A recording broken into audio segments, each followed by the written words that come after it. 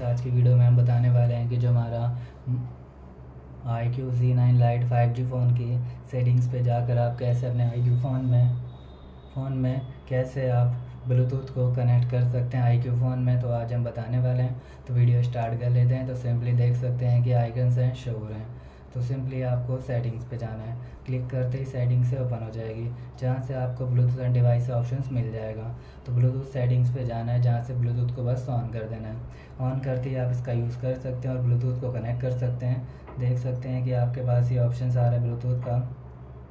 तो सिंपली देखते हैं कि ब्लूटूथ नेटवर्क आ जाएगा थोड़ी देर में।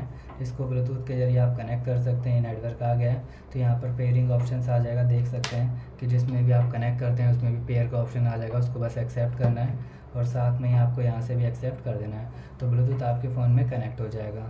तो इस तरीके से ब्लूटूथ को आप कनेक्ट कर सकते हैं। तो आपको वीडियो अच्छी लगी तो लाइक एंड सब्सक्राइब करें। तो मिलते हैं अगले वीडियो में।